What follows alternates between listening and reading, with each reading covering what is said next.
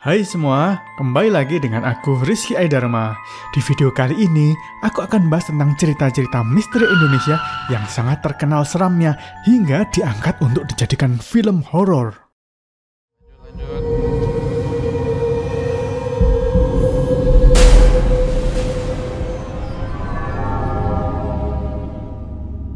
Halo semua, sebelum nonton jangan lupa klik subscribe dan lonceng ya.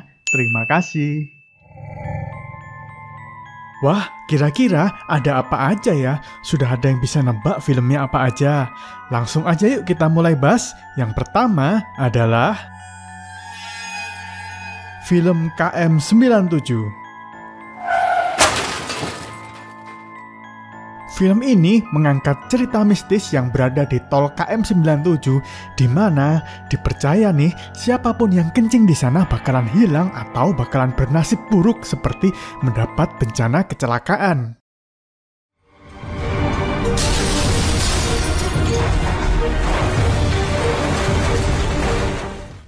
Ceritanya berawal dari Anton dan istrinya Lydia bersama anaknya yang bernama Bintang. Mereka baru saja pulang dari Italia dan menuju Bandung di malam hari. Pada saat di KM97, tiba-tiba ban mobil Anton ini kempes. Dan di saat bersamaan, si Bintang itu ingin kencing dan langsung keluar dari mobil. Yaudah deh bintang pipis.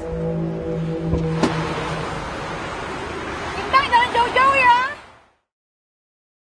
Saat Anton selesai mengganti ban, dia kebingungan karena bintang ini hilang. Di saat ibu dan bapaknya ini berdebat, tiba-tiba saja bintang sudah muncul duduk di mobil belakang. Hmm, misterius banget kan?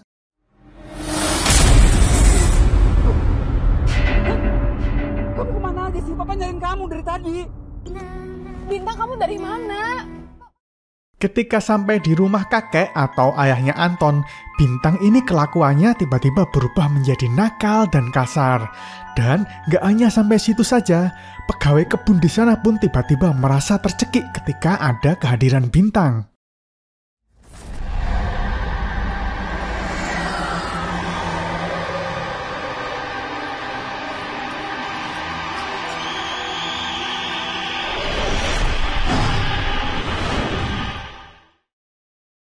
Si kakek ini lama-lama mulai curiga dengan bintang yang terlihat aneh.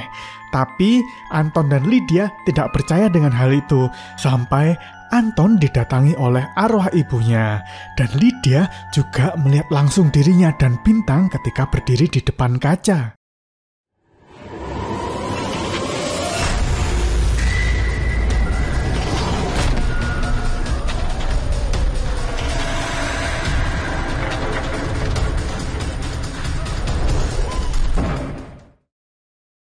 Menyadari keanehan-keanehan tersebut, mereka bertiga langsung balik menuju KM97 pada malam hari dengan membawa setan yang menjelma menjadi anaknya.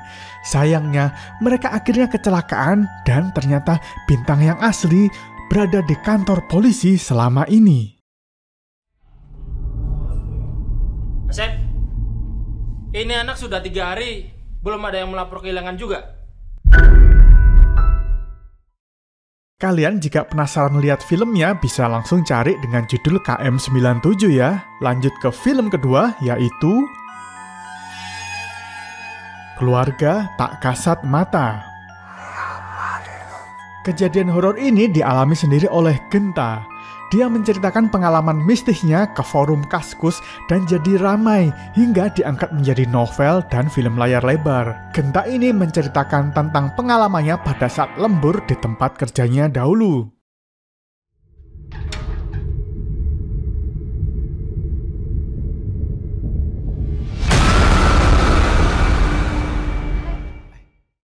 Awal cerita bermula ketika Genta pindah ke kantor baru di Yogyakarta yang merupakan rumah yang sudah lama nggak ditinggali. Awal bekerja sana nggak ada kejadian yang aneh sampai pada saat malam hari Genta dan temannya tiba-tiba mendengar suara tangisan wanita.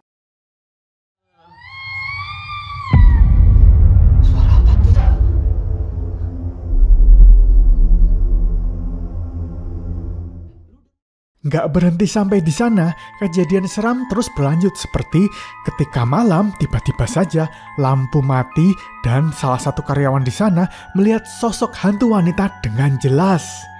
Ketika lampu sudah menyala, semua karyawan kumpul di ruang tengah dan tiba-tiba aja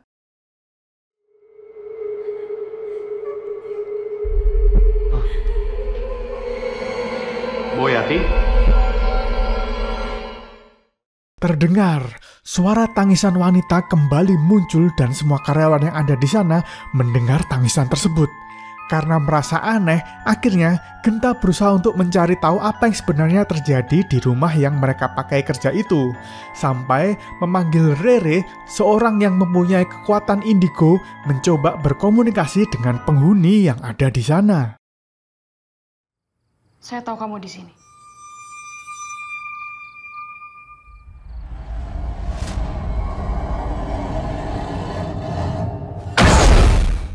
Setelah runtutan gangguan mistis yang makin lama makin menyeramkan, mereka akhirnya pindah. Ya ampun, cuma gara-gara lembur aja, hantu yang ada di sana merasa sangat terganggu ya. Makanya dia sering munculin suara atau terkadang menampakkan dirinya. Kamu bisa nonton lengkap di Disney Plus dengan judul Keluarga Tak Kasat Mata ya. Lanjut ke film terakhir yaitu KKN Desa Penari. Film terakhir ini diangkat dari kisah nyata yang sempat viral di Twitter dipost oleh Simple Man, menceritakan enam mahasiswa yang sedang melakukan praktek kuliah kerja nyata di desa terpencil di mana ternyata ini bukanlah desa biasa.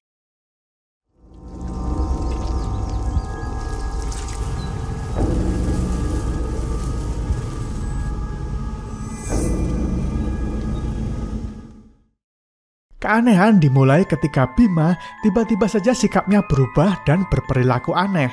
Anton juga merasakan jika setiap malam di kamar Bima seperti ada wanita yang sedang mendesah. Padahal di sana penghuninya cowok semua loh. Bahkan ditemukan ada sesajen di kamarnya Bima. Anton pun akhirnya bercerita ke Nur, teman kecil Bima, dan sampai mengajak ke kamarnya Bima langsung untuk membuktikan sesajen-sesajen dan keanehan-keanehan yang terjadi agar dia percaya.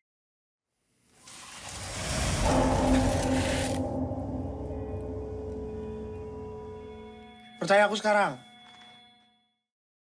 Usut punya usut ternyata dua mahasiswa KKN yaitu Bima dan Ayu diperdaya oleh sosok gaib bernama Badarawi yang bersemayam di hutan terlarang desa tersebut mereka diperdaya untuk melanggar peraturan-peraturan adat dan diperalat untuk menjebak Widya, salah satu gadis KKN incaran Badarawuhi. Aku bisa menolongnya bila kamu mau mendengarkan dan mengikuti semua yang kuperintahkan. Widya yang merupakan incaran utama Badara Wuhi juga hampir terjebak sampai akhirnya berhasil diselamatkan oleh Mbah Buyut, dukun setempat di desa itu. Tapi sayangnya Bima dan Ayu nggak bisa diselamatkan karena sukmanya sudah terlalu dalam dikuasai oleh Badara Wuhi sampai akhirnya mereka pun meninggal dunia.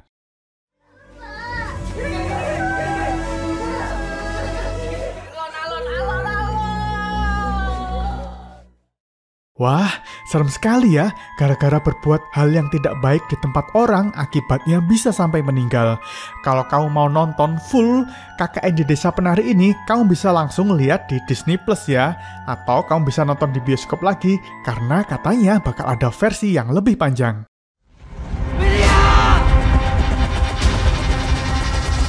Di sini ayo dong! Oke sobat, itulah film horor Indonesia yang diangkat dari kisah nyata. Aduh, pantas aja ya sampai diangkat jadi film, karena memang dampak dari jin penghuni tempat-tempat itu nggak main-main. Semoga dengan adanya film-film itu, kita bisa jadi ambil pelajarannya dan nggak sampai mengalami kejadian yang sama. Oke, sekian dulu semuanya. Terima kasih dan sampai jumpa.